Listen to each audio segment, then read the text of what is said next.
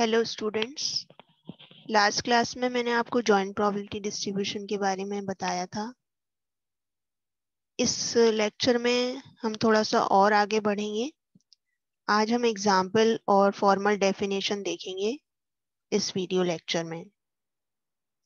तो let me remind you if you like my lecture please share it and for more on this uh, subject you may subscribe my channel also thank you so let's see what is the definition of joint probability distribution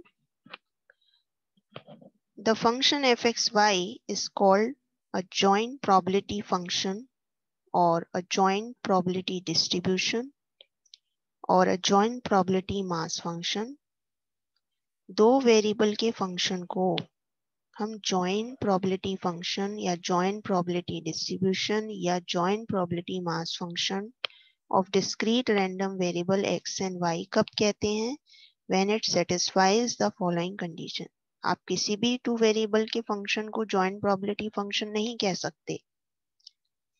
उसके लिए कुछ conditions होती हैं। अगर वो function वो conditions को follow करता है then that function is called joint probability function यहाँ पर x और y डिस्क्रीट रैंडम वेरिएबल हैं, इस बात का ध्यान रखिएगा। ये डेफिनेशन डिस्क्रीट रैंडम वेरिएबल्स के लिए है। कंटिन्यूस के लिए नहीं है, वो हम अपने नेक्स्ट लेक्चर में देखेंगे। ये डेफिनेशन डिस्क्रीट रैंडम वेरिएबल्स के लिए है। तो number one condition F X Y should be non negative आपको पता ही है कि एफ़ एक्स वाई का मीनिंग क्या होता है? Its meaning is the the probability that X takes the value X and Y takes the value Y तो क्योंकि प्रोबेबिलिटी हमेशा एक नॉन नेगेटिव नंबर होती है तो हर पेयर की प्रोबेबिलिटी नॉन नेगेटिव होनी चाहिए। For all the values of X and for all the values of Y double summation F X Y is equal to one double summation का क्या मतलब है? for all the pairs of x and y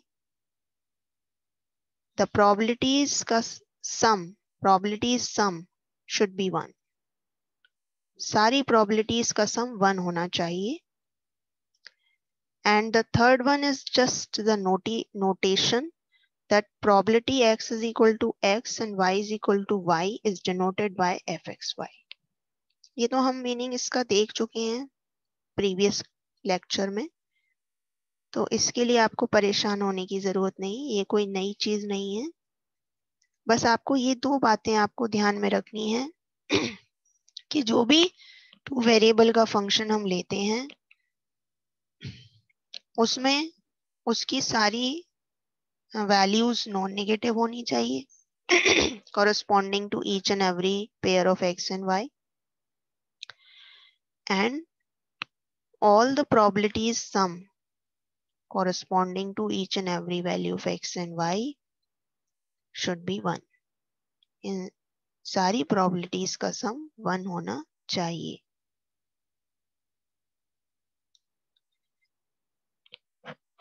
आइए एक example के ज़रिए हम इस फ़ंक्शन को समझते हैं और इसको इवेल्युएट करने की कोशिश करेंगे। इस एग्ज़ाम्पल में two refills for a ball point pen are selected at random from a box that contains three blue riffles, two red riffles, and three green riffles.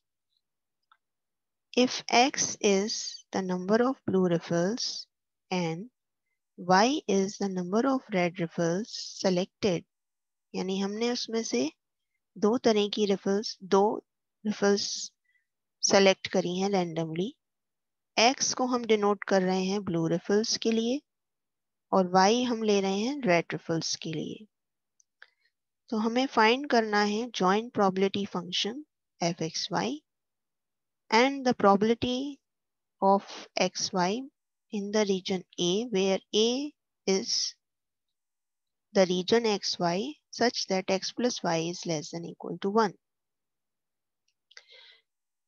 तो x आपको गिवन है क्वेश्चन में और y भी given है आप अपने आप सोचिए कि ये वैल्यूज़ मैंने क्यों लिखी हैं?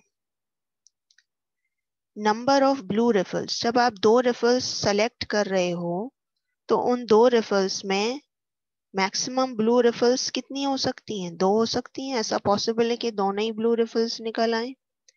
या एक ब्लू रिफल निकले या कोई भी ब्लू रिफल ना निकले राइट इसीलिए एक्स की वैल्यू पॉसिबल कितनी है? Zero one and two. इसी तरह से number of red refills zero one और टू हो सकती हैं। तो ये एक तरह का बॉक्स मैंने बनाया है। B का मतलब ब्लू रिफल्स R का मतलब रेड रिफल्स G का मतलब ग्रीन रिफल्स अब इस बॉक्स में से दो बॉल्स रेंडमली सेलेक्ट करी हैं। इन दो बॉल्स में हम मान लेते हैं ब्लू रिफल्स L हैं रेड रिफल्स M हैं ग्रीन रिफल्स K हैं। इफ़ तो अगर आप थोड़ा सा रिकॉल करें तो ये हाइपरजोमेट्रिक डिस्ट्रीब्यूशन का लेआउट है। आप थोड़ा सा रिकॉल करें। This is a layout for hypergeometric distribution जिसके लिए एफ़ एक्स वाई की वैल्यू होती है थ्री सी एल थ्री क्या है यहाँ पर? ब्लू रिफल्स तो ये ब्लू रिफल्स एल होंगी इसकी क्या प्रोबेबिलिटी है? थ्री सी एल तीन में से एल होंगी। रेड रिफल्स टू में से एम होंगी, इसकी क्या प्रोबेबिलिटी है?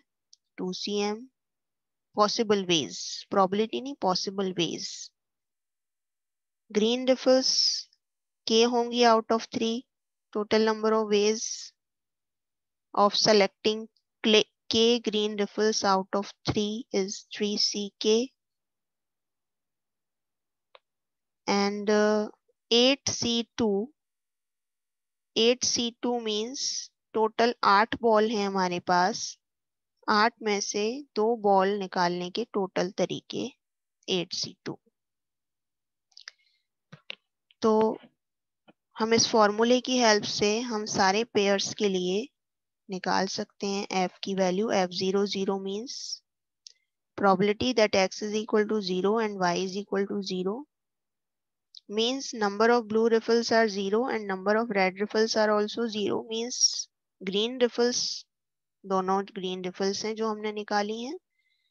तो आप इसको लॉजिकली भी कर सकते हैं। हाइपरजोमेट्रिक डिस्ट्रीब्यूशन से नहीं करना चाहते तो आप ऐसे भी कर सकते हैं कि तीन में से ज़ीरो रेड बॉल्स एल का मतलब रेड है ना? Sorry blue three c zero two c zero and three c two, क्योंकि टू ग्रीन बॉल्स हैं तो टोटल नंबर ऑफ़ वेव कितने हुए? Three c zero into two c zero into three c two divided by by default without knowing the colours in how many ways you can draw two balls out of eight eight c two so when we solve this we get three upon twenty eight इसी तरह से F zero one का मतलब क्या है कि X की value zero है और वाई की वैल्यू वन है। मतलब एक रेड रिफिल हमने निकाली है, एक रेड रिफिल है जो हमने दो निकाली थी। रिफिल्स उसमें से एक रेड है और एक ग्रीन है क्योंकि रेड ब्लू रिफिल्स ज़ीरो हैं। तो एक रेड रिफिल कितने तरीके से निकल सकती है? दो में से टू सी वन और ए ग्रीन रिफिल कितने तरीकों से निकल सकती है तीन में से? Three c one divided by eight c two again you will get three upon fourteen इसी तरह से आप सारी कैलकुलेशन करेंगे तो ये वैल्यूज़ आएँगी जो मैंने स्क्रीन पर लिखी हुई हैं। अब ये एफ़ टू वन और एफ़ टू टू ज़ीरो क्यों है? क्योंकि एफ़ टू वन का मतलब है टू रिफल्स आर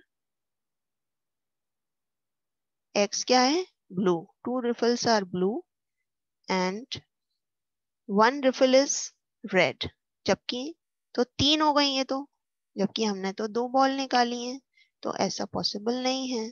तो इसलिए ये इम्पॉसिबल इवेंट्स हैं, इसलिए इनकी प्रोबेबिलिटी ज़ीरो है। Is that clear b part था प्रोबेबिलिटी हमें निकालनी है। X y belongs to a where A is the region where, uh, such that x plus y less than equal to 1. तो हम ये देखेंगे x और y के कौन से ऐसे पेयर हैं जिनका sum less than equal to one है।